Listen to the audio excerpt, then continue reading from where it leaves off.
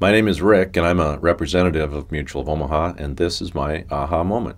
It's a story about a farm kid that had an accident.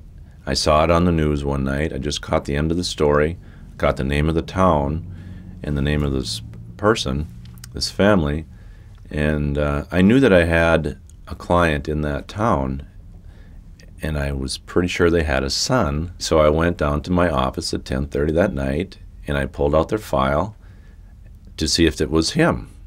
And sure enough, it was. Several surgeries, um, just an unbelievable story. Went uh, nationwide, went worldwide.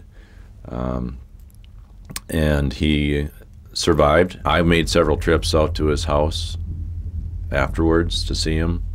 My manager went out to see him. The people at the home office sent uh, a huge card um, they, they set up this big card. It was like three feet tall, and all the home office people signed it. When you see what insurance companies can do for clients, um, it, it takes all the, the negative away. I think that uh, Mutual Omaha just went uh, above and beyond, and I was just very proud to call them my company, and uh, still am today.